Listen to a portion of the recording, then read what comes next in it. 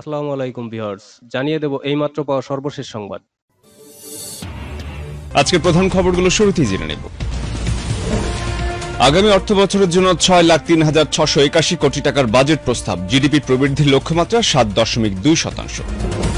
বাজেটে এবারও গুরুত্ব পেল মহামারী। করোনা মোকাবেলায় করণীয় সবকিছুই করবে সরকার, বললেন অর্থমন্ত্রী। প্রস্তাবিত বাজেট বাস্তবসম্মত ও সময় উপযোগী দাবি আওয়ামী লীগের বিএনপি বলছে। অধমরণের বাজেট এবং করোনায় দেশে আরও ত্রিশ জনের মৃত্যু, বিশ্বে আবারও বাড়ছে শনাক্ত ও মৃত্যুর সংখ্যা। এতক্ষণ শুনছিলেন শিরোনাম। আগামী দু হাজার একুশ দু হাজার বাইশ অর্থ বছরের জন্য ছয় লাখ তিন হাজার ছশো একাশি কোটি টাকার বাজেট পেশ করেছেন অর্থমন্ত্রী আ. হম মোস্তফা কামাল। প্রধানমন্ত্রী শেখ হাসিনার উপস্থিতিতে বিকেল তিনটায় জাতীয় সংসদে এই বাজেট প্রস্তাব করেন তিনি। এটি দেশের পঞ্চাশতম, আওয়ামী লীগ সরকারের একুশতম আর বর্তমান অর্থমন্ত্রীর তৃতীয় বাজেট উত্থাপন।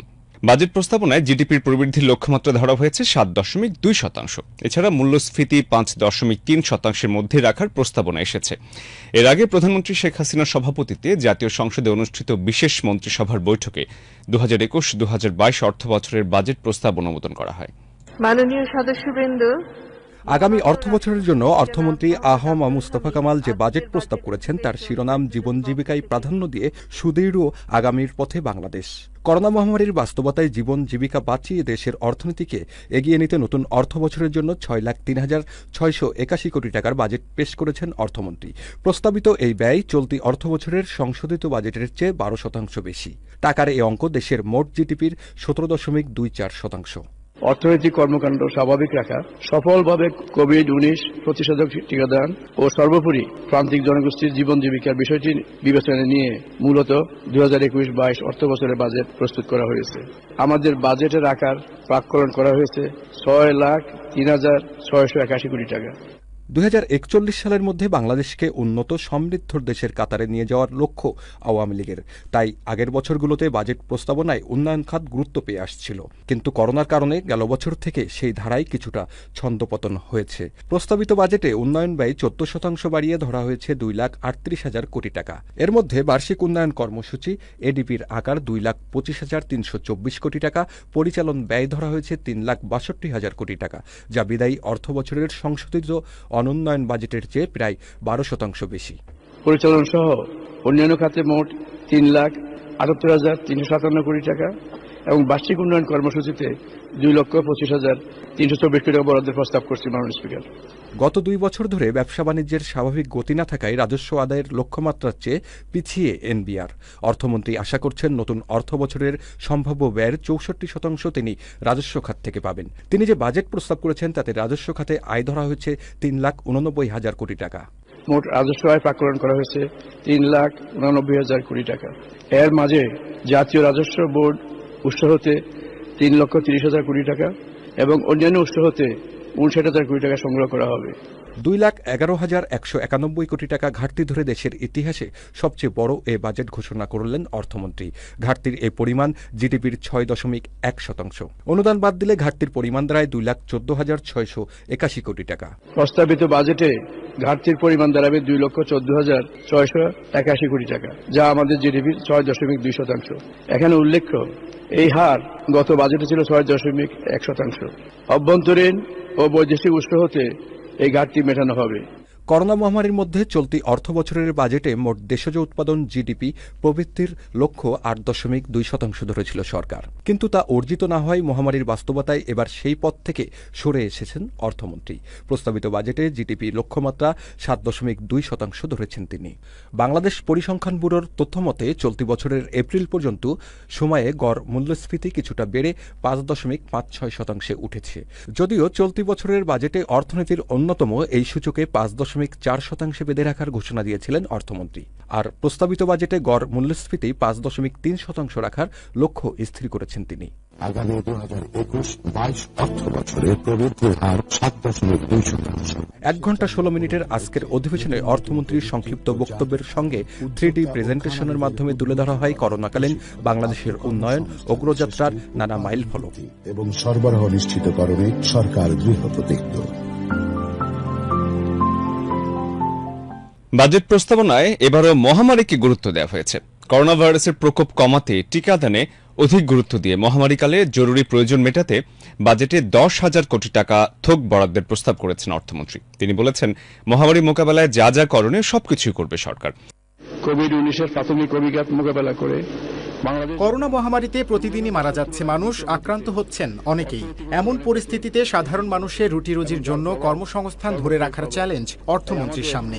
এবারে বাজেটেও দেশ ও জাতির উন্নয়নের পাশাপাশি প্রাধিকার পাচ্ছে দেশের পিছিয়ে পড়া মানুষ প্রান্তিক জনগোষ্ঠী ও তাদের জীবন জীবিকা অর্থমন্ত্রী তার বাজেট বক্তব্যে দেশের আশি শতাংশ মানুষকে টিকার আওতায় আনতে সরকারের লক্ষ্যের কথা তুলে ধরেন। এই খাতে থোক বরাদ্দ প্রস্তাব করেন দশ হাজার কোটি টাকা। বরাদ্দের বাইরেও টিকা কিনতে বিভিন্ন উন্নয়ন সহযোগী সংস্থা থেকে সহায়তা পাওয়ার আশা অর্থমন্ত্রীর। বিশ্ব স্বাস্থ্য সংস্থার কোভ্যাক্স ফ্যাসিলিটি হতে তিন কোটি চল্লিশ লক্ষ মানুষের জন্য চিকিৎসা খাতের অন্যান্য সংকট মোকাবেলায় প্রস্তাবিত বাজেটে চলতি অর্থ বছরের তুলনায় বরাদ্দ বাড়ানো হয়েছে এগারো শতাংশ।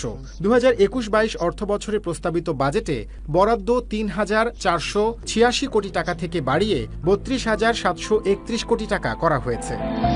স্বাস্থ্য ও পরিবার কল্যাণ খাত জীবন ও জীবিকার এই বাজেটে বিনিয়োগ ও কর্মসংস্থান সৃষ্টি এবং বৈদেশিক মুদ্রার সাশ্রয়, রপ্তানিমুখী শিল্প বহুমুখীকরণ এবং তার সংযোগ শিল্পে প্রণোদনা সহ ডিজিটাল বাংলাদেশ গড়ার লক্ষ্য অর্জনে আইসিটি খাতে দশ লাখ মানুষের কর্মসংস্থান হবে বলে আশা করেছেন অর্থমন্ত্রী। বাজেটে কোভিড উনিশ মোকাবেলায় প্রধানমন্ত্রীর দেয়া প্রণোদনা প্যাকেজগুলোর বাস্তবায়ন, কৃষি খাত, খাদ্য উৎপাদন ও ব্যবস্থাপনায় বেশি গুরুত্ব দেওয়া হয়েছে। অর্থ বছরের পুরো সময় জুড়েই থাকবে সরকারের নানা ধরনের খাদ্যবান্ধব কর্মসূচি বাড়ানো হবে সামাজিক নিরাপত্তা কর্মসূচির আওতা।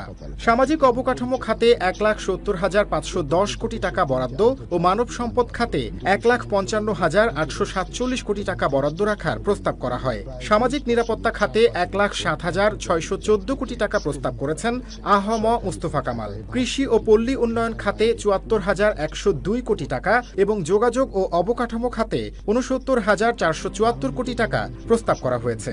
বীর মুক্তিযোদ্ধাগণের সম্মানী ভাতা। এছাড়া বীর মুক্তিযোদ্ধাদের ভাতা বারো হাজার টাকা থেকে বাড়িয়ে বিশ হাজার টাকা করার প্রস্তাব দিয়েছেন অর্থমন্ত্রী আহম মুস্তফা কামাল। আমাদের প্রিয় মাতৃভূমি জাতির পিতার তুলিতে আঁকা স্বপ্ন সোনার বাংলাদেশ বাস্তবায়নের পথে অনেক দূর। প্রস্তাবিত বাজেটে সিগারেটের দাম বৃদ্ধির প্রস্তাব করা হয়েছে যার ফলে ধূমপায়ীদের এখন থেকে সিগারেট কিনতে হবে বেশি অর্থ খরচ করে। তবে স্থানীয় বিড়ি শিল্পের উপর বাড়তি চাপ দেননি অর্থমন্ত্রী। বাজেট প্রস্তাবনা অনুসারে কমতে পারে নির্মাণ সামগ্রীর দাম। এছাড়া বাজেটের প্রভাবে যেসব পণ্যের দাম বাড়তে পারে কিংবা কমতে পারে করোনা মহামারীর কথা চিন্তা করে নিত্য প্রয়োজনীয় খাদ্যপণ্যের উপর কর আরোপ করা হচ্ছে না প্রস্তাবিত দু হাজার একুশ বাইশ বাজেটে। ফলে চাল, ডাল, চিনি, লবণ, দেশে উৎপাদিত টুথপেস্ট, পাউরুটি, সাবান, বোতলজাত পানি, ফলের জুস, মশলা ও প্রক্রিয়াজাত খাদ্যদ্রব্যের দাম বাড়বে না। দেশে উৎপাদিত এবং বেশি ব্যবহার হয় এমন বেশিরভাগ পণ্যের দাম নাগালে রাখতে দেশি শিল্পে ব্যাপক হারে রাজস্ব ছাড় দেওয়া হচ্ছে। এ কারণে আমদানি করা পূর্ণাঙ্গ মোটরসাইকেলের চেয়ে দেশে সংযোজিত মোটরসাইকেল কম দামে পাওয়া যাবে। করোনা মোকাবিলায় সব ধরনের কোভিড সুরক্ষা পণ্যে ভ্যাট, ট্যাক্স মৌকুফ করা হয়েছে। কোভিড উনিশ পরীক্ষার কিটের আমদানি, উৎপাদন ও ব্যবসা এবং পিপিই ও সব ধরনের মাস্ক উৎপাদন ও ব্যবসা পর্যায়ে মূল্য সংযোজন কর অব্যাহতি দেয়ায় কমছে এসব পণ্যের দাম। অন্যদিকে শুল্ক ছাড় দেয়ায় power reaper, power tiller, operated seeder combined harvester, rotary টিলারের মতো কৃষি যন্ত্রের দাম কমে যাবে। কর অব্যাহতি রেয়াতি সুবিধা প্রদান করায় এবং আমদানি করা সমজাতীয় পণ্যে শুল্ক আরোপ করায় বিদেশি খেলনার দাম বাড়লেও কমবে দেশি খেলনার দাম। প্রস্তাবিত বাজেটে গাজর ও মাশরুম আমদানিতে শুল্ক হার বৃদ্ধির প্রস্তাব করা হয়েছে। সেই সঙ্গে গাজর, মাশরুম, কাঁচামরিচ, টমেটো, কমলা ও ক্যাপসিকামের ন্যূনতম শুল্কায়নযোগ্য মূল্য নির্ধারণের প্রস্তাব করা হয়েছে, যার জন্য বাড়তে পারে এসব পণ্যের দাম। কম্পিউটার সহ কিছু পণ্যের দেশীয় উৎপাদন উৎসাহিত করতে সেসব পণ্য আমদানির ক্ষেত্রে বেশি হারে শুল্ক আরোপ করা হচ্ছে। এ কারণে এসব পণ্যের পাশাপাশি বাড়ছে বিদেশি মোবাইলের দামও। সব ধরনের প্রসাধন সামগ্রীর উপর সম্পূরক শুল্ক পাঁচ শতাংশ থেকে বাড়িয়ে দশ শতাংশ করার প্রস্তাবে এসব পণ্যের দাম বেড়ে যাবে। সিগারেটের চারটি স্তরের মধ্যে তিনটি স্তরের দাম বাড়ানোর প্রস্তাব করা হয়েছে। একটি স্তরের দাম অপরিবর্তিত থাকছে। এর ফলে বেশিরভাগ সিগারেটের দাম বাড়বে। চার্টার্ড বিমান ও হেলিকপ্টার ভাড়ার উপর সম্পূরক শুল্ক বাড়ানোর প্রস্তাব করা হয়েছে। কার ও এসইউভির নিবন্ধন খরচও বাড়ছে। আর দ্বিগুণ হচ্ছে শীতাতপ নিয়ন্ত্রিত লঞ্চ সার্ভিসের মূল্য সংযোজন কর। নতুন বাড়ি করতে চাচ্ছেন আর সেজন্য নকশা অনুমোদন করতে এখন থেকে কর শনাক্তকরণ নম্বর বা টিআইএন বাধ্যতামূলক করা হয়েছে। আর পাশাপাশি যে কোনো সমবায় সমিতির রেজিস্ট্রেশন বা নিবন্ধনের ক্ষেত্রেও টিআইএন বাধ্যতামূলক করা হয়েছে।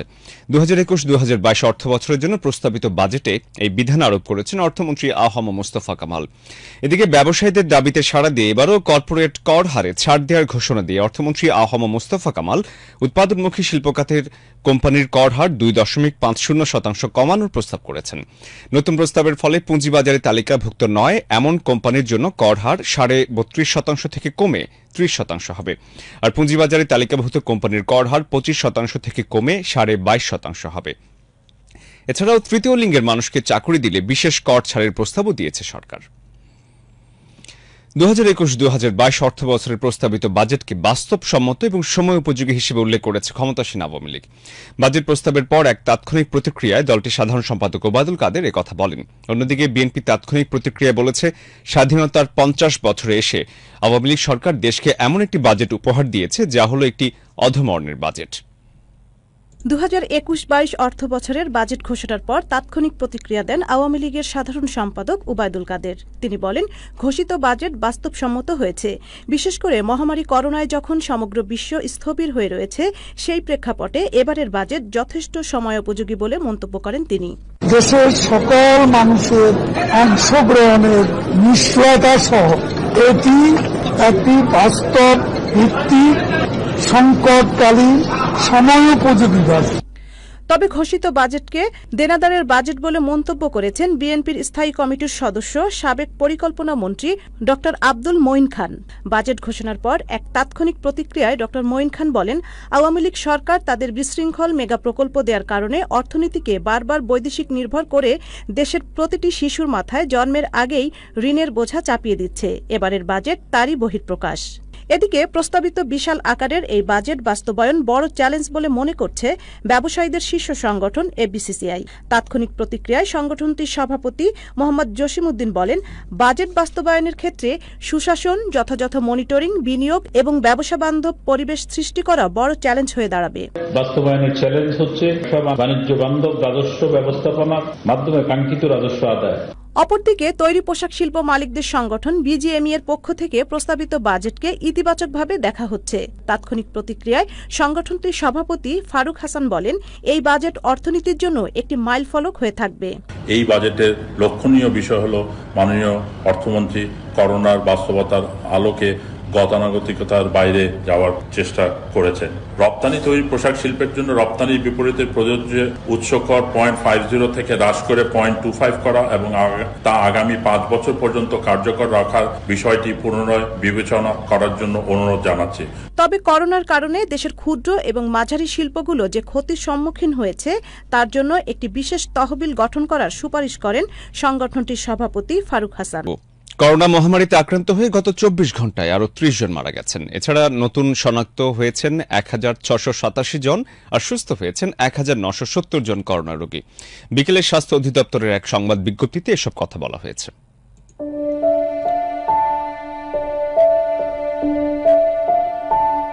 স্বাস্থ্য অধিদপ্তরের অতিরিক্ত মহাপরিচালক ডাক্তার নাসিমা সুলতানা স্বাক্ষরিত সংবাদ বিজ্ঞপ্তিতে জানানো হয়েছে, দেশে করোনা ভাইরাস সংক্রমণের চারশো তিপ্পান্নতম দিনে গত চব্বিশ ঘন্টায় আরও তিরিশ জনের মৃত্যু হয়েছে। ফলে এ যাবৎ মৃতের সংখ্যা বেড়ে দাঁড়িয়েছে বারো হাজার সাতশো চব্বিশ জনে। একই সময়ে নতুন করে আক্রান্ত হয়েছেন এক হাজার ছয়শো সাতাশি জন। এতে দেশে মোট শনাক্তের সংখ্যা দাঁড়াল আট লাখ পাঁচ হাজার নয়শো আশি জনে।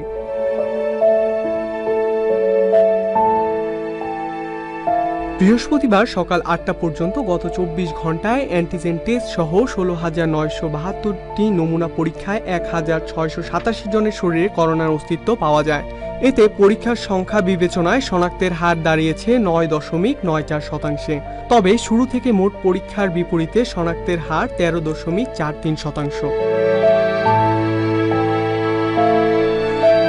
গত চব্বিশ ঘন্টায় যে তিরিশ জন মৃত্যুবরণ করেছেন, তাদের মধ্যে একুশ জন পুরুষ ও নয় জন নারী। তাদের মধ্যে হাসপাতালে মারা গেছেন আঠাশ জন ও বাড়িতে দুইজন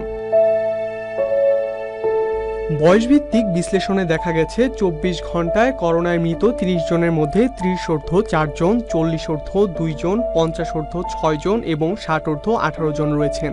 আর বিভাগওয়ারি হিসাবে ঢাকা বিভাগে ছয়জন চট্টগ্রাম বিভাগে ছয়জন রাজধানী, রাজশাহী বিভাগে আটজন খুলনা বিভাগে তিনজন বরিশাল বিভাগে একজন সিলেট বিভাগে দুইজন ও রংপুর বিভাগে আছেন চারজন অন্যদিকে গত চব্বিশ ঘন্টায় এক হাজার নয়শো সত্তর জন সহ মোট সাত লাখ ছিচল্লিশ হাজার পঁয়ত্রিশ জন করোনা রোগী সুস্থ হয়েছেন।